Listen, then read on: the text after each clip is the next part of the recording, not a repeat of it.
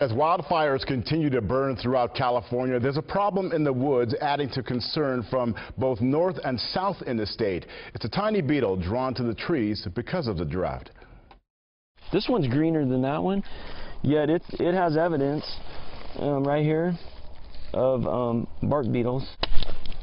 Hidden in these trees, there's a problem you can barely see with the naked eye, and it's smaller than the tip of a pin. If you poke them a little bit, it'll probably move. As a bark beetle bores through the ponderosa pines, it leaves behind a pattern of destruction. This is evidence of an attack. The tiny beetles are after what's inside. They're not eating the bark, they're not eating the solid wood, they're eating this nice spongy layer. In this lush forest, the dead brown trees are visible. As the trees compete for water in a historic drought, it's invited the healthy appetite of bark beetles. Once you have stressed trees, they're prone to successful um, attack by uh, bark beetles. The trees are left dry and dead, and the Northern California forests are a tinderbox. Just listen.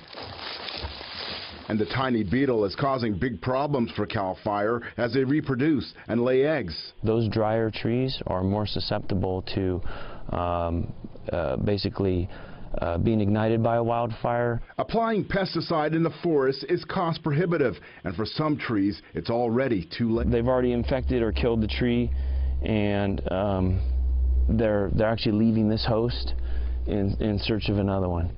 The Forest Service has resorted to removing the dead stands of trees, and as they keep an eye on wildfires, they also wait for Mother Nature to take course. If we get cold, hard winters, um, that makes it tough on the insects to successfully continue to grow their populations.